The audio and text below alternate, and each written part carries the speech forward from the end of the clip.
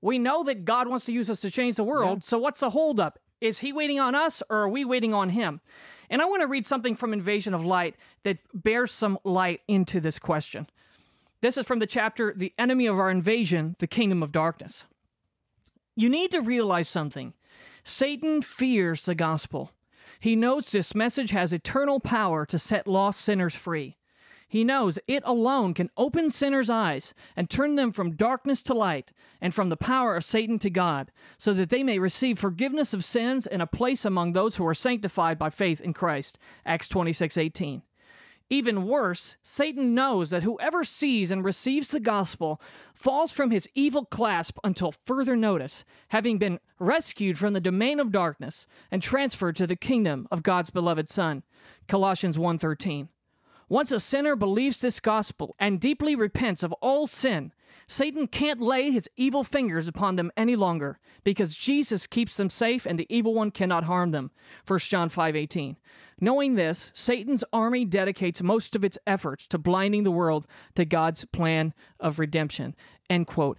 And Amen. you know, I think that we don't realize that there's a spiritual warfare aspect in this question. Satan wants us to think that we're waiting on God. Right. Uh, Satan wants to trick us into thinking that there is something else that must happen before uh, God can use us. Of course, we do need to be empowered with the Holy Spirit. Right, That's right. something that needs to happen. Yeah.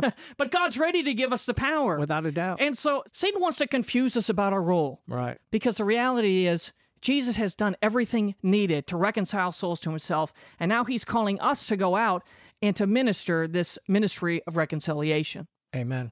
Well, I think that's a good time to to, to read the verses. Yeah. I mean, because let's face it, you know, a faith comes by hearing, and hearing by the word of God, and we Right. need to we need to read verses like this to remind us what God's call is for each and every one of us as believers of Jesus Christ. Right. And this is Second Corinthians chapter 5. I'm going to start in verse 17.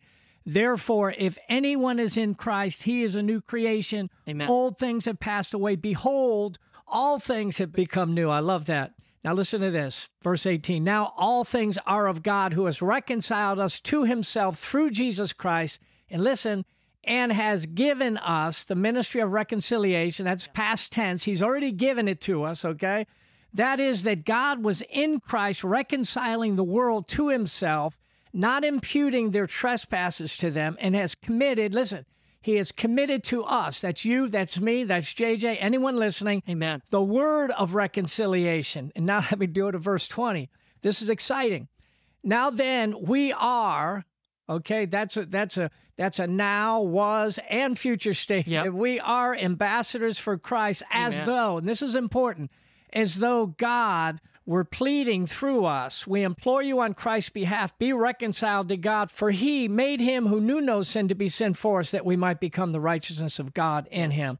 And you know, I, I love that word where he says pleading. It's it's it's translated different places, uh, but it's the word parakaleo, and Yeah. it, it could be translated his desire. He's making known his desire through us. Okay, his Yeah. desire for reconciliation. He's making known his desire to call people to his side. Amen. Is how Wow. that could be translated.